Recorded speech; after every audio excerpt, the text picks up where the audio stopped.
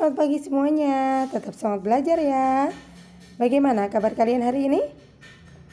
Semoga baik-baik saja ya.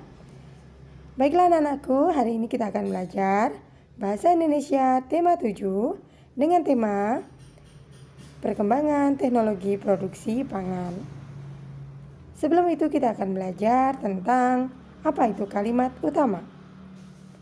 Kalimat utama adalah kalimat yang memuat inti paragraf atau gagasan pokok yang menjadi dasar untuk mengembangkan paragraf. Kalimat utama bersifat umum dan memuat keseluruhan isi dari paragraf. Dan ingat, dalam setiap paragraf selalu ada kalimat utama. Kalimat utama dalam sebuah paragraf bisa ditemukan di awal kalimat, di akhir kalimat, dan di awal dan di akhir kalimat atau campuran. Sudah paham ya? Selanjutnya gagasan pokok. Gagasan pokok adalah inti kalimat atau ringkasan dari kalimat utama. Jadi, dalam setiap kalimat utama selalu ada gagasan pokok. Gagasan pokok bisa disebut juga atau kata lain dari ide pokok, gagasan utama, inti paragraf, topik ataupun tema.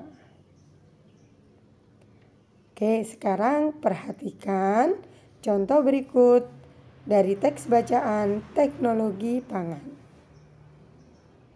Oke, bisa kalian baca di bukunya masing-masing.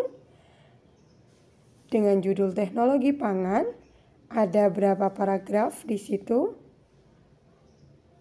Ingat ya, ciri-ciri paragraf adalah awal kalimat menjorok ke depan dengan huruf besar. Dan ini adalah teks bacaan berikutnya. Bisa kalian hitung nanti kita sama-sama ya. Yang di awal tadi ada berapa paragraf dan yang ini ada berapa paragraf. Nah, betul atau tidak? Di lembar pertama ada tiga paragraf. Selanjutnya, di lembar berikutnya ada dua paragraf. Berarti total paragraf dalam bacaan dengan judul teknologi pangan ini ada 5 paragraf. Betul sekalian anak?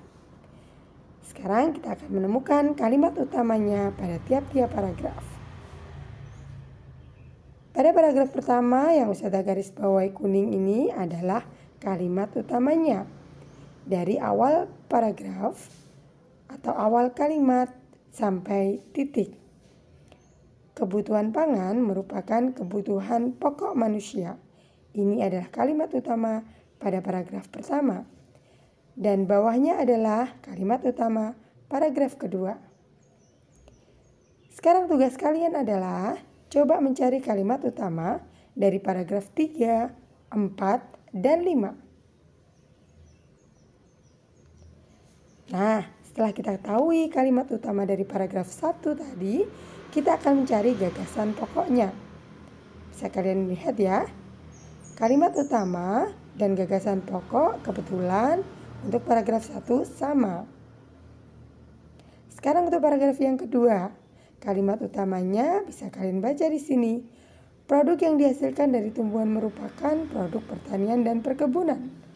Sedangkan gagasan pokoknya, produk dari tumbuhan merupakan produk pertanian dan perkebunan. Setelah kalian nanti mendapatkan gagasan pokok ataupun Kalimat utama dari tiap paragraf, gambarlah peta pikiran dari gagasan pokok pada bacaan teknologi pangan.